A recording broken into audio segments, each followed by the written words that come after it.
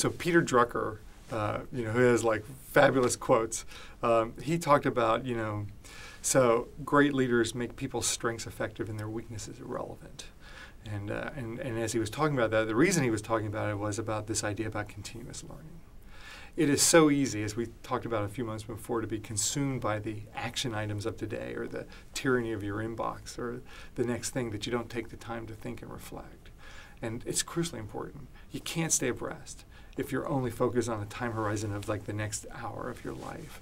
And so, you know, what are you doing to embrace and the idea of continuous learning? Are you making sure your team is embarked upon continuous learning? Are you personally doing it? You know, there's the old adage about do you set aside executive time? And, and we all go, yeah, yeah, yeah, that's like a good thing to do. But if you don't, you'll fall behind. And sometimes you need to keep put structures in place to help make sure that that happens, right? What can you do to put discipline in your life that you're going to read and you're going to study and you're going to talk to people? You're going to talk to different people so you get new ideas and only don't get feedback from the same circle of people? What are you doing to build a bigger network?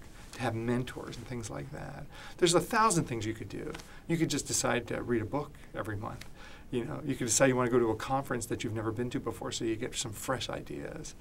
In a couple of my last jobs, I did a thing called expanding horizons where I would get together my leadership team.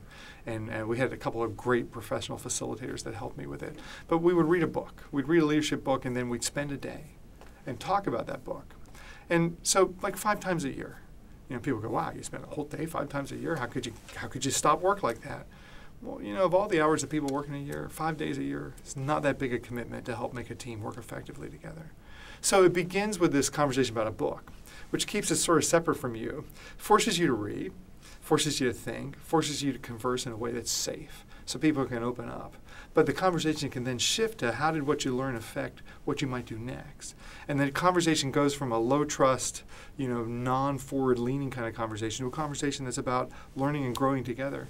And fabulous things came out of there. Not one about the discipline about just like reading and learning and growing, but the other thing is about the, the importance of making a team really be melded together.